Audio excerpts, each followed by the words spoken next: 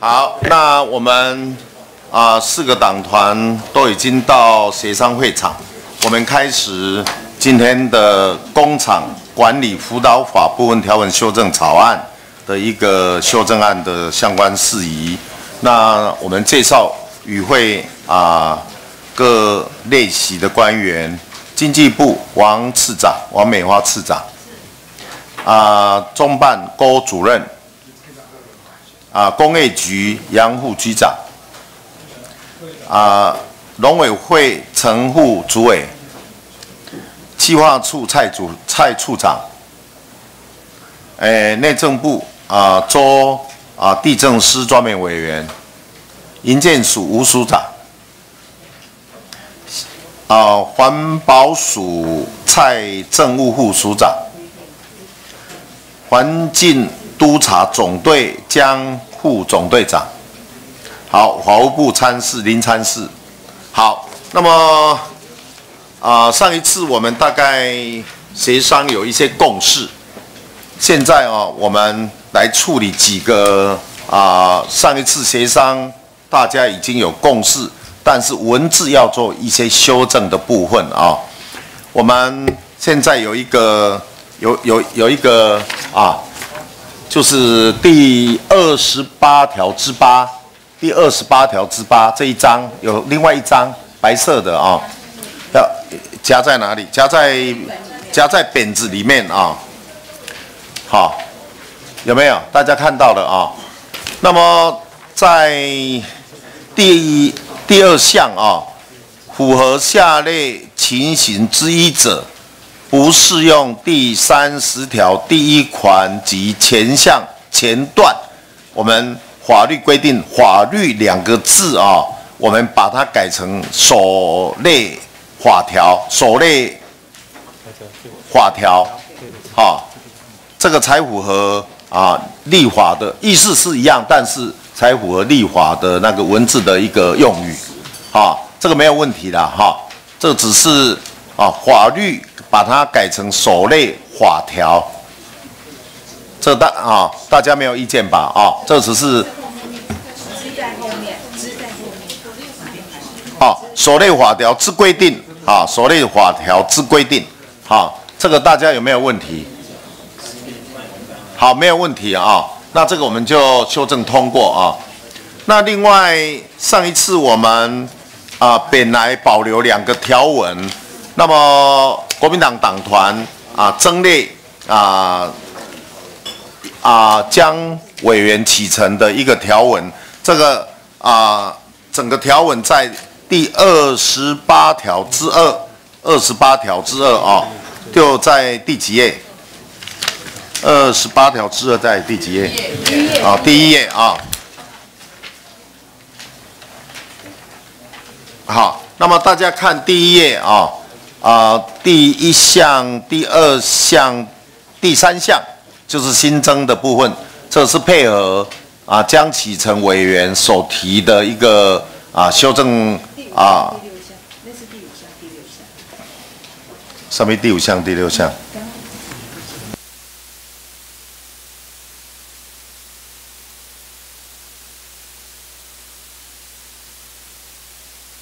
就是配合江委员上一次。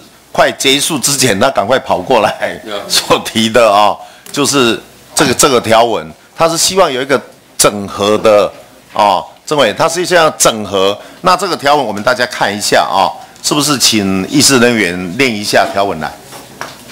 未达成来开始。第五项，第五项，第六项。未达成，未达成未登记工厂全面纳管及就地辅导之政策目标，中央主管机关应设工厂。管理辅导汇报由相关部会、直辖市、县市政府共同组成。开会时得邀请专家学者及民间团体代表参与，负责推动各项工厂管理辅导工作检讨及改进措施。必要时得报请行政院协调之。第六项，前项工厂管理辅导汇报决议之事项，相关部会及直辖市、县市政府应落实执行，中央主管机关应定期追。追踪管考，每年公告于网站。宣读完毕。好，那么这个就是上一次，好来曾委员。好，谢谢主席。因为江委员他本来是希望由行政院长来召集这个协调汇报，才有办法达成他的立法目的，为达成为登记工厂全面纳管及就地辅导的政策目标。那假设假设是设在主管机关，也就是经济部，那经济部我讲难听的一点，这。不管是部长主持也好，或者政务次长主持也好，谁理他？谁理经济部啊？以过去执行的绩效来看，我再问一下，历年来你真的让他合法化的有多少家？根本没有办法达成这一条的这个立法目的，所以我觉得由主管机关设立啊，我觉得不合适，应该拉到行政院的层级。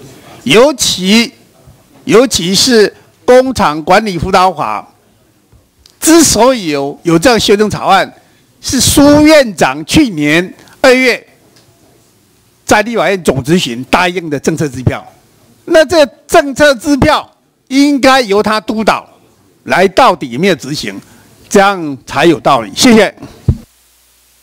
好，来，还有没有党团各党团有没有意见？好，来，请柯总柯委员。我想这个版本哈是由江启臣委员所提出的。那刚才这么多委员所谈的嘛，当然我们希望这个未来在这个啊未登记这个如何管考最终辅导的问方面方面向上面，当然是目的是主管机关最了解，也就是经济部。那经济部要要找哪些人呢？他要。还有直辖市、县市政府，还有学者专家也进来，好，那民间团体也进来，这样来负责这个检讨及改进措施。必要的时候，当然有需要行政院的时候，当然行政学院会来介入协调，哈。等进入设计的问题，就是说，假如这个一定要院长来主持，这种地这这种成合的问题，包括我们的现在已经这么多。啊，几十万家要来辅导这个立法来改进的问，那这是立法上有很大的很大处理处理的。那我还是认为，就是说这样有目的事业主管机关找相关的县市长来，这个比较恰当，不是不需要一直提到说说所谓的汇报。那中央政府有很多汇报了，台湾省有科技汇报等等汇报啊。那每一个都是我们希望说能够让比较重要，能够落实比较重要，而且每年还要成果还要上网公告，这样的一个机制上，我相信应该是可以接受的。怎么样？好，来林委员，是主席，还有各位，呃，有关于这个部分哦。呃，我个人也是觉得应该是要有院层级的才是比较适当，因为大家知道说我们重点是要辅导嘛。因为为什么到现在我们还要再重新讨论这个案子？就之前其实在辅导的部分我们做的不够啊。那现在如果说我们希望真的在辅导上有尽到成效，以及在辅导过程之中。可能会牵涉到的，我觉得不只是经济部的问题，因为大家所关心的，像很多是关心所谓农地污染这样的一个状况，以及就是说，当我们在辅导过程之中，它是不是会有在有扩大啦等等这样一个状况，它牵涉的议题其实是跨部会，而且是跟地方政府单位都很有相关，所以呢，还是必须要由院长来主持这样的一个行政院的层级。那我们会觉得比较适当，因为如果由经济部，它其实指挥不了其他的部会哦，所以我们还是认为说，国民党的这个修正版本是比较积极在面对这个议题，也才有办法解决这议题后续的发展呢。好，来请李红军委员。这个所牵涉的面哦，这个就是之前开始在谈这个工厂法的时候，其实我也有提过。这牵扯到国家整体的政策的问题啊！如果地方政府的话，跟国家的政策是没有办法去去结合的哦。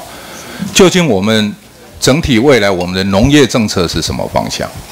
我们的产业政策是什么样的方向？那你工厂就地的辅导，那辅导所牵涉的它的范围，然后所所移的地方，这个不是单纯它的主管机关跟地方政府就可以解决的问题哦。那未来我们的整个我们的农业政策，我们的保护政策，然后我们究竟要到什么样的一个一个范围？那这个其实所牵扯的也是国家整体政策面上，所必须要去兼顾的哦。所以这个不是单纯的只有主管机关跟地方政府来定定。那定定的话，因为它所牵扯的范围太广了。哦，我们其实来讲，其实我们常常常常针对我们的农地的保护哦，我们其实借由这个议题，当然你的工厂的让它就就地的合法。可是对未来的农地的发展，那我们如何来做一个更好的一个确保？其实这个都是息息相关的哦，所以应该是要由政院这个单位来做总协调，而且这个所牵扯的也是整体的我们国家的未来的整体的整个的一个产业政策的发展，这个都是套在一起的哦，所以不能单独的把它切割开来。好，谢谢李委员，还有好来郑委员。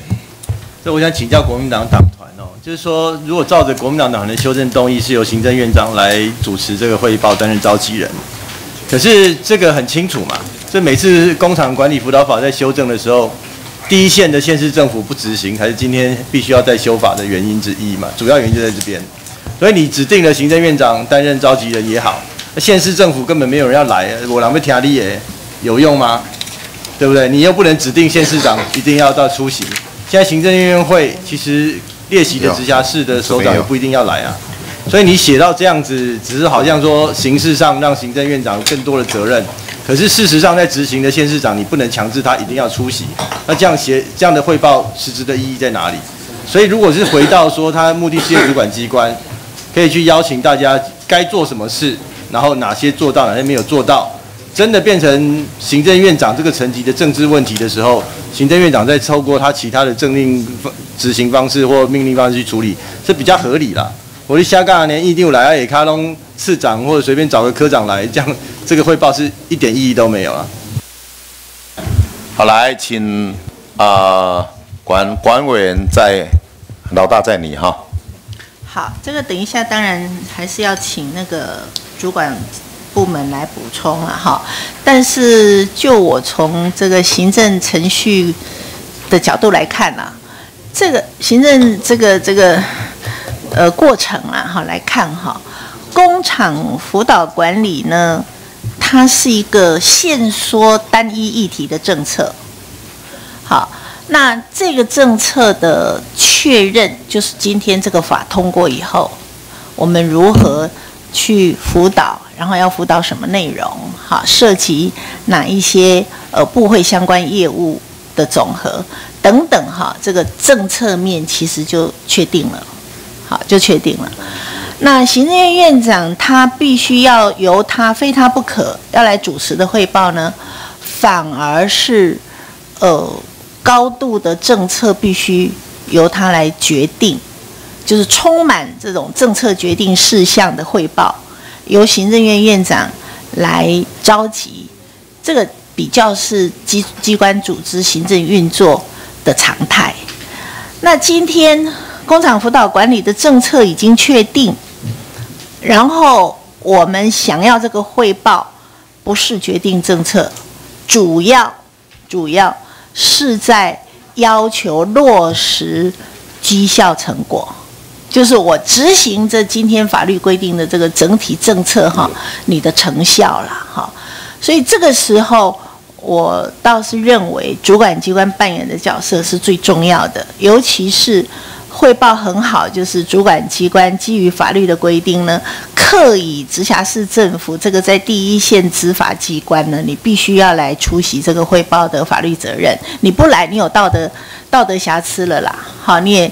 不符合这个法律的立法要旨了啦，所以我们刚好就是给主管机关在落实这个政策的时候呢，给予他要求地方政府要共同负责来落实这个成绩绩效的一个机制，我认为是非常好。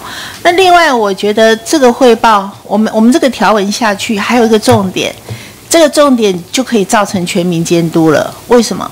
因为我们要求你的管考你要上网公告。所以借由一个是上网公告，然后借由一个是地方政府非来不可，让主管机关在落实这个政策面的时候，更促进它能够展现落实绩效的一个机制。所以我是这样看待啦，就是说。工厂辅导管理这件事情，它必须那个高度的政策面是全盘性的经济政策的那个层次，其实是比较不明显的。好，所以我认为在主管机关的这个层级，刚好就是让它的执行面、它的绩效面，好，可以得到落实的一个适当的设计。啊，我希望大家能面对问题，等一下，实际的解决问题。十年来，几千家的农地工厂或是违建的工厂里面，我们要辅导，只有七家通过。那为什么只有七家通过？大家要了解这里面牵涉的每个单位很多。但是一个经济部如果碰到农委会，他什么都拒绝；碰到哪一个单位，他拒绝。各位的本位主义非常浓厚，所以今天国民党提出来说，请行政院长亲自督导，我觉得有必要。那最重要的一点，你可以一年督导一次，经济部把他的成果报告出来，然后去检讨地方跟政府为什么有这么多的困难问题里面，这样才能根本的解决。真的要来辅导农地啊，那些违建的一个工厂，大概爱面对问题，你是对讲好听话，不不然怎么十年来几千家工厂只通过七家？到底原因在哪个地方？我一定要大家了解。但是你行政院长如果发觉这个问题怎么会那么少？其实这个是重要的政策，也可以做，也可以拖。但是我们今天真的要去解决问题，我觉得行政院长每一年一定要亲自的督导，了解问题，解决这个问题，才真的对。农地的违章工厂、违建工厂辅导他们才会真的有效。无到尾来，各有那些安尼，大家拖过就过去啊！要做就甲做好，台湾够久，唔通去做这假虚虚假假的问题。因为一定牵涉的层面好几个层面的层次在，这一定要行政院长来拍板定案了。如何解决？如何用法律的修改来处理这些所有问题？各位都市的立委，你在乡下在哪个地方，你去看一下，你就能了解很多问题，好不好？拜托一下，让台湾正常，那个正常化一点，把这些工厂辅导到合法的一个程度啊。好，请柯委员，再请曾委员，再请李委员，再请徐委员。这个哈要设立哈，当然要解决过去的问题。那我们要全案来看待整个法律。这个整个我们整个配套，包括有高污染不行，好有些限制等等，这整个要看整个工厂管理法实际调它怎么立，哪一个单点来看待，就是说这层级要多高，其他都不看待，都不不看待的话，层级再高都没有用，所以应该是整个来看待。我们今天谈的时候说，当然大家都很清楚，过去延了十年，我们不这个是历史历史问题了。延来延去，到现在我们是要面对的。那面对的时候，当然整个法配套是要怎么怎么修，大家应该很清楚。我们今天谈的不是只有一个点，然后这个我们现在这样改法，就是说主管机关还有相关部会，当然这个农委会相关部会都要进来嘛。没有错，刚才永金委员讲谈讲到这个是农业政策，也是产业政策一环，啊，环保政策，因为都是会扣到的，啊，那。虽然是单一事项，但是但是会扣到其他部位，所以他这里进一步进一步主管机关要找相关部位来，新竹政府来，然后要说行政院来来来介入哈。我们要在这个地方，我们说一个法，选前我们修一个法叫空屋法，大家应该很清楚。空屋也是很重要，呃，农地很很很重要。空屋法的时候怎么写？是。环保署会同相其他其他部会，那会会同哦，那时候是会同会商的问题。那当初我们写的是一个会商，后来说这一定要会同，否则的话环保署是会主导能力，哦，变成主从不分。所以后来我们我们改会同哦，然后还加一个哦，那必要时候那行政院。包括像像像这样的写法，必要的时候说行政院也是要报行政来来协调处理。所以这个机制，我们在公务法上面也是这样一个机制。我我我我承认大家都很关心这个问题，那大家同时也关心环保问题，那这很多问题大家都很关心，每个议题都是牵牵涉到价值选票，来自于各政党立场。那我想我们立法上应该也是这样的立法，只要以后什么问题都是行政院院长来主持。试试问，院长有没有能力？有院长所整理的政务多繁杂，他全国所有事务都要他处理。这样的时候，是不是有效的能够落实？大家思考一下。我这有办法做有效的落实。我们在公务法上也是类似如此立法。你让公务法公法重要，就重要后会同会同，再加上一个行政，也是一样啊。好，来曾委员在离位。